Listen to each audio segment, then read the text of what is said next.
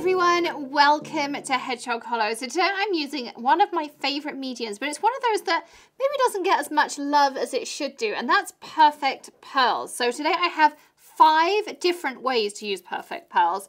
Um, I could probably do 50 different ways because I really do love them. I've played with them for years. I mean, they've been around quite a long time now, um, but I feel like they're one of those things that are coming back again. And so I'm going to show you my top five favorite ways to use them. Um, and then maybe if you love them as much as I do, we can do some more videos as well. But what we're going to do is just start with the basics. So if you've never used them before, we're going to start with that and then we're going to move into more advanced techniques. So let's dive in. So first of all, I'm going to show you how to do this here. So these three cards use all five of my techniques. Um, and really this one is super, super simple. So all I did was take a piece of black cardstock and you can use anything really dark. You can also use light cardstock, but we'll get to that in a second when we get to the pelt. So for this one, I chose black and I used the uh, Letter It stamp set. Now this is from Ranger and they have a whole range of Ranger stamp sets um, from different designers, but there's also these ones in the Letter It collection. And these are perfect to go with Perfect Pearls. So I'm just gonna center it up in my stamp platform and we are going to use Perfect Medium. Now, Perfect Medium, let's talk a little bit. So Perfect Pearls come in packs. Um, I just put all of mine in one of these clear cases like this, they fit perfectly. And also in here fits my medium. So when you buy Perfect Pearls, it comes with these little medium pads like this. This one's a little bit tatty because it is very well loved. Um, but when they are new, I don't think I've used either of these ones over here um, and they stack together. You can see this is how they arrive.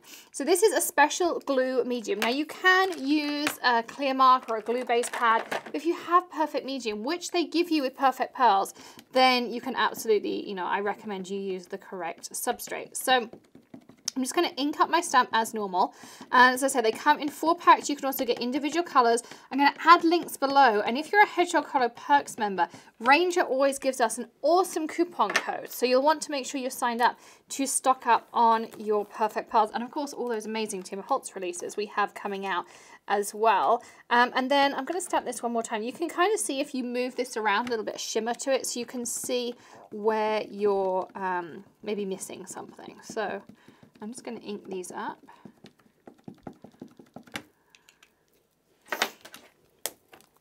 And again, I'm just going to give it a really good press down. And I can see I've got a good impression. So that's literally all you need is that like gluey impression. You can see there it just shimmers just a little bit. Okay, now, this is how easy perfect pearls are, but yet how effective they are.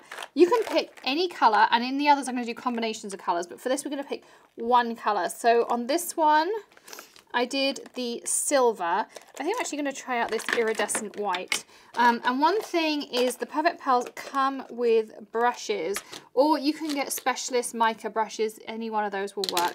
But you want something that never gets wet, because as soon as it gets wet, um, that's a whole different thing. It's a fun thing, but it's a whole different thing. You won't get the same effect. So I just literally touch my brush in and I start brushing around. And you'll notice I didn't put like any anti-static down or anything like that. And I like working with a little bit of Perfect Pearl. You can still, you know, brush it back in again if you want to. You can brush it back in the container. But in general, what you're going to get is something like this. And you're going to say, well, Alex, yeah, okay, that's great, but it's really smeary. Well, we're going to fix that. So the first thing is any major excess goes back in here. And you can either use a large paintbrush or something like a surface sweep is perfect for this. And I literally just give it a really good going over. And you see what it's done is it's only stuck to the areas down there where there was medium. I may have had a smear or two down here. So anything that's moist, it's going to stick to. But a sand eraser or something like that will get off any excess. Okay, so there's tip number one. Now, the next thing you need to think about is the fact that if you take this, and if I swiped my finger across this, like this, you see how it gets really light again? So I've gone from like a really nice solid image to something much lighter. It's because it's not sealed. So you need to seal your perfect pearls. And you can use a sealant, but I have a great hack for you. It's called water. Um, you literally just spritz it over. It will mix with your perfect pearls. And then all you have to do is dry it, just like this. And your perfect pearls will be set. That's how easy it is. And you don't necessarily have to do quite as much as I did. Like a reasonable mist, you don't want it to be too little, but you know, too much isn't an issue because you can just dry it off too. So we're just going to go over it. You can also spritz paper and then add perfect pearls over it. Um, and you'll get some really cool techniques. Of course, it'll look like splatters over it. That's another cool technique you can do. Um, but water is the best kept secret in sealing perfect pearls. Um, you can mix perfect pearl with water and make paint. Do not do it anywhere near the pot. Do not do it with your special paint brushes that you're keeping dry. But if you do do it, it's a really cool technique. Um, but we can save that for our 45 other ways to use perfect pearls. So I'm just drying this out. You notice how it curved up one way? But if you start drying the reverse side, you're going to notice it starts react relaxing. So you see how if you heat one side, it goes up. And then when it reaches kind of its peak, it'll then start going back the other way. Now, if your cardstock ends up too ripply, and you're like, oh, I've already got ripply cardstock, I don't know what to do, then just run it through your die cutting machine with no dies, just with your plates in, and it'll come out perfectly. I'm doing this just off to the side because there's no moisture on that side, and it will help it straighten out, she hopes. So, there we go. It's getting better. So, yes, still a little bit curly. This one I probably would put through my die cutting machine before I used it. But the next tip I want to share with you is another cool one. So we're going to go back to our perfect medium. And I have a blending tool that's just for that. I keep it in here. Um, or you can use one of your Ranger ones. I just happen to have this in my drawer. We use our Ranger one. Um, but literally just dab it in the perfect medium. And then you can just do the edges. So I'm literally just picking up the edges as though you are like inking the edge of your cardstock. Or if you want to, depending on what you're doing, you can do the whole, the blending the edge. And what that means is we can now put perfect pearls on the edge of our cardstock. So I can take maybe some silver. And I just clean off my brush on my apron. And so that's my flicked corner. This is my blended corner. Take my surface sweep and then you again you could seal it but you see how I can get those two different effects on the edges and that's exactly how I did it on this card. I stamped out my huge celebration, I mounted it on some red frosted uh, cardstock and then I did the little fun background underneath and added some stickles on top and some diamantes. So really easy but really really effective. Okay so there's two ways to use Perfect Pearls, well maybe a few more mixed in. But next up, I wanted to tell you about how you can take that to the next level. So what we can do is we can layer. So I'm going to take out this one. I love this background stamp. This is actually um, one of my designs. It's a watercolor concept, but it's super cool. But we're going to use it just as a solid shape for this project.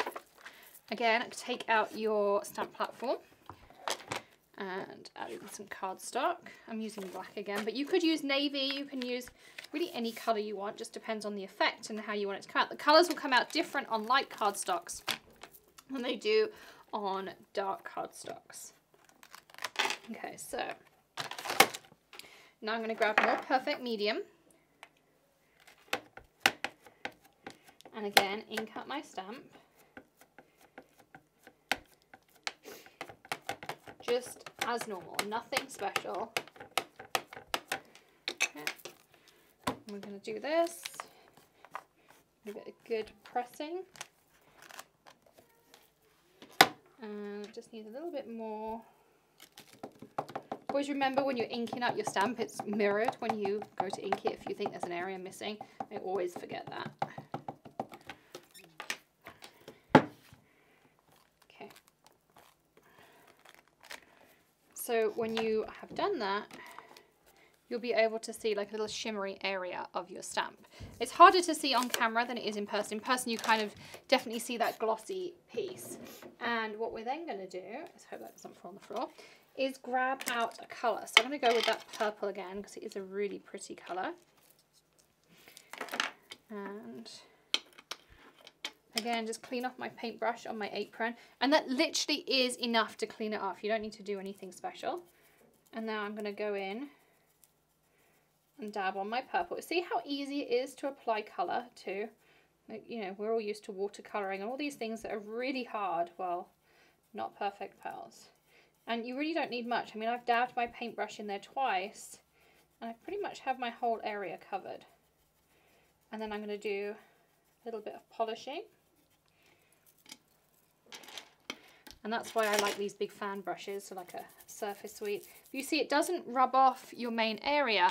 It just rubs off the rest of your cardstock. So that's in there. Okay, so that's that. Now we want to set this because we want it to be nice and dry. So I'm going to give it a light spritz. And we're going to dry it off.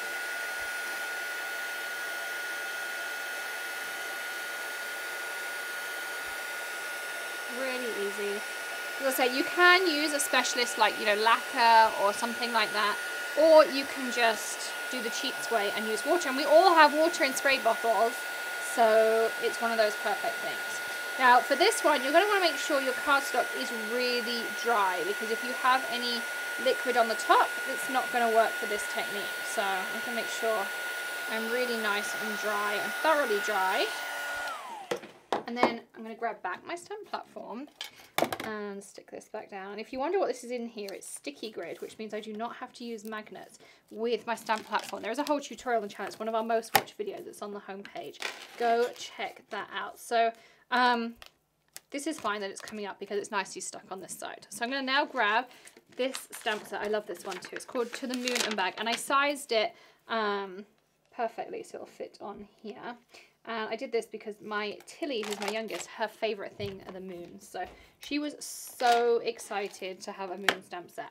Now the next step, step even, you can stamp with Perfect Medium, or again, you can stamp with like a Versamark, a Clearmark, a Ranger embossing ink, any of those. It really doesn't matter for this one. Um, I've got my Clearmark here, so that's what we're going to do. But I'm just going to ink up like this. And I'm going to press accordingly. Make sure I've got a nice impression. It looks like it. Um, if I was doing it probably off camera, I might do it again, but it's going to work fine. And then I'm going to grab some embossing powder. I love this snowflake tinsel. This is one I bought at Christmas from Ranger. So I'm going to just sprinkle that on in my coffee filter. And what I'm going to do just from the back is a really good flick. And I also still like to take my surface sweep and sometimes what I do is I just kind of tap in there and sometimes I ruin it and sometimes I don't. and you can see you can emboss on top. Now ideally, if you're doing this at home, I really do suggest that you uh, do your perfect pearls, set them, and then leave it for a little while for it to dry. Now that's not quite so easy when I'm filming a video for you, but you can see it still works if you do it straight away. Um, it's just not as good of a result as we could get if we left it to dry and made sure that there was no static on there and no moisture. I can feel there's still a little bit of moisture in here which is why I personally would prefer to leave it before I used it. But I'm going to heat this up just so you can see the effect and then I'll show you the one I did in the craft room before so you can kind of see how that effect can go. Um, but I love the fact you can layer on here and still get all of these awesome effects.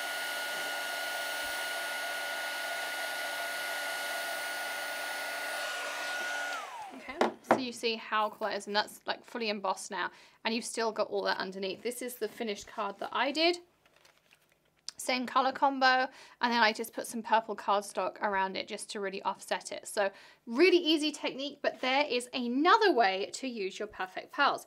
But of course you know I'm not done because I said we had five. Well, this card uses another two techniques. I'm to leave that stamp in because we're to use that one again.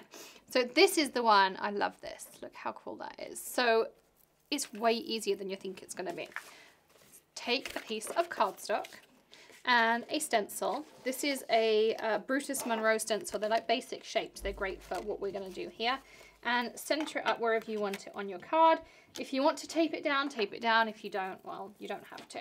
And then either take your blending tool. Now, it depends on how gentle you want to be, what effect you want to get. There's lots of different variables and playing around with it, you'll see that. But you're just going to take this and either blend your colour in or if you want to go the quick route you can literally just take your pad and fill in the stencil. I mean, look how easy this is. And I just want to make sure there is perfect medium all the way around. Like, so simple.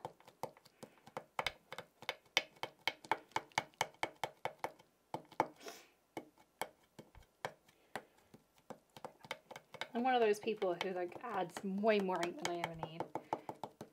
Okay, we're gonna go with that's probably okay. And for now I'm gonna put my lid on here. So I have that perfect circle covered in medium. And now we get to try out the mixed colours. So for this one, I use the blue, the gold, and I use a little bit of white. Now, of course, you could go with any colour combination you want. The colours are not going to mix together. They're going to offset each other.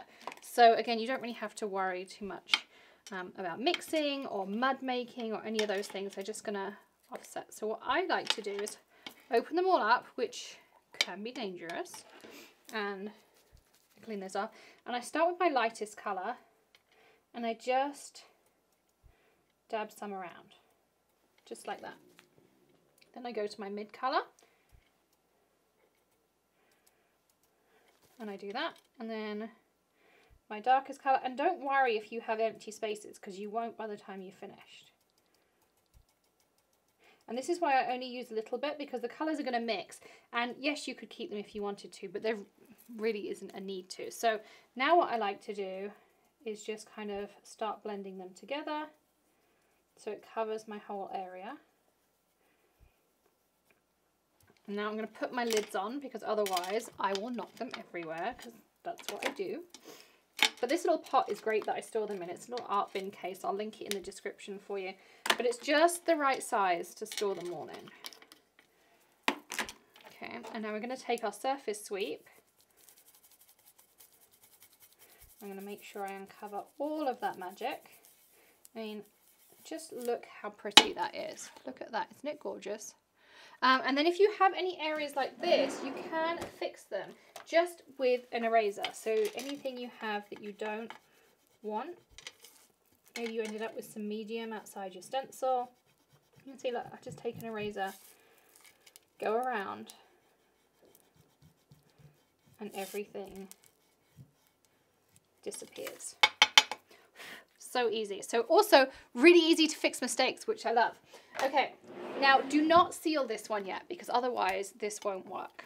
This is how we're going to get a really cool effect on here. So we're going to stick this back into our stamp platform. We're going to grab our stamp. It does not have to be clean. And we're going to layer this roughly where we want it. Yeah. And you're going to see some of the magic because it already has the ink on it. Um, so you can see what we're going to do is pull back some of the Perfect Pearls. So I'm just going to ink this up with Perfect Medium. Again, you can use another glue ink, but Perfect Medium just works so well. Take it, give it a really nice press.